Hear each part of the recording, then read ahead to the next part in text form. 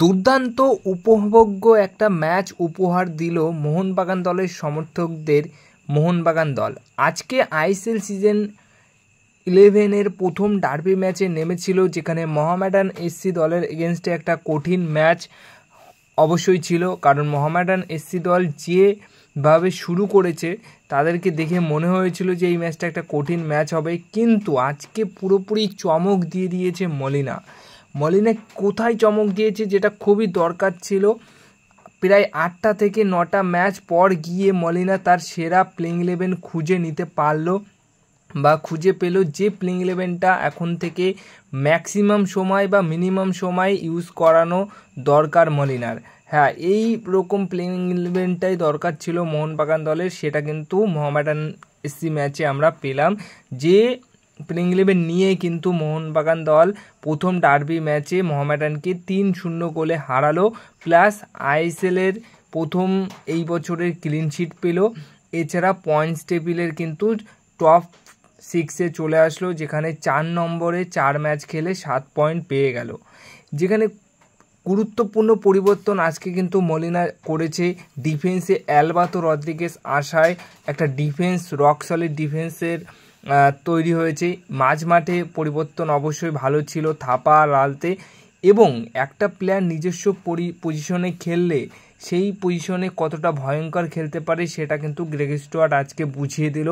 নিজের ফেভারেট পজিশনে আজকে কিন্তু স্টুয়ার্ট খেলেছে। দুটো অ্যাসিস্ট করেছে মানে দুটো গোল করিয়েছে প্লাস একটা গোল করেছে।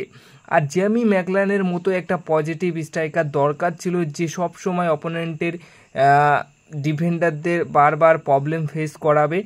তো সেই কাজটাই কিন্তু আজকে করেছে, যার কারণে আজকে তিনি গোলও পেয়েছেন। এবং শুধু আজকে তিনি একটা গোল নয় অন্ততপক্ষে আরও দুটো গোল মানে হ্যাট্রিকও করতে পারতো। আর একটা পজিটিভ বক্স স্ট্রাইকারের কোথায় কোন সময় থাকা দরকার সেটা কিন্তু ম্যাকলেয়ান আজকে বুঝিয়ে দিয়েছে। যদি গোলটা আমরা নাও মানে ম্যাকলেয়ান যদি গোলও না করতো, তাও আজকে যেভাবে খেলেছে, একটা পজিটিভ স্ট্রাইকার এইভাবেই খেলে আর সেটার প্রমাণ কিন্তু ম্যাকলেয়ান আজকে দিয়েছে। এইরকম প্লেইং ইলেভেনটাই আশা করব পরবর্তী ম্যাচেও যেন কোচ মালিনা রেখে দেয় কোনো রকম পরিবর্তন না করে। কারণ দুর্দান্ত একটা প্লেইং ইলেভেন তৈরি হয়েছে। ম্যাকলায়নের নয় মিনিটের প্রথম গোল, সুভাষিস বোস ক্যাপ্টেন মানে ডিফেন্ডাররা কিন্তু গত আইএসএল গত চারটে আইএসএল ম্যাচে কিন্তু ডিফেন্ডাররা গোল করছে। এটা কিন্তু একটা বিশাল পজিটিভ দিক। এবার আক্রমণ ভাগের প্লেয়াররাও এই ম্যাচ থেকে গোল করা শুরু করে দিল। ডিফেন্ডার সুভাষিস বোস একত্রিশ মিনিটের মাথায় গোল করে এবং সুভাষিস বোস গোল করে, তার পাশাপাশি সুভাষিস বোস কিন্তু স্টুয়ার্টকেও একটা ভালো পাস দেয় ছত্রিশ মিনিটের মাথায় এবং সেই পাস থেকেই কিন্তু মানে সেই অ্যাসিস্ট থেকেই স্টুয়ার্টও নিজের দক্ষতায় সেরা একটা গোল করে। আজকে সেরা ম্যাচ মানে ইন্টারন্যাশনাল ব্রেকের আগে এই ম্যাচ যেভাবে জিতেছে, আর এই ম্যাচটা বা এই জয়টা আমাদের দরকার ছিল।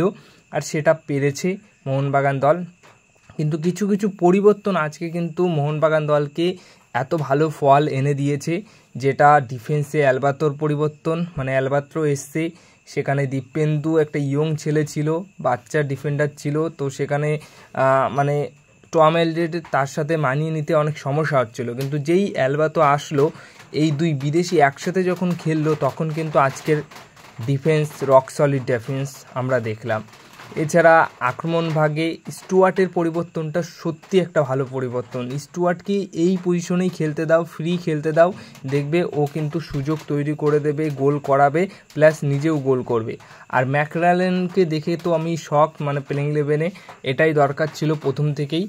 কিন্তু প্রথম থেকে তিনি ফিট ছিলেন না, আস্তে আস্তে ফিট হয়ে যেভাবে কামব্যাক করল, যেভাবে গোল করল মানে আইসিএলের প্রথম ডার্বি ম্যাচে তার গোলও কিন্তু দেখলাম আমরা। তো সব মিলিয়ে দুর্দান্ত একটা ম্যাচ আমাদের উপহার দিল মোহনবাগান দল। দারুণ একটা ম্যাচ উপভোগ্য ম্যাচ আমরা দেখলাম।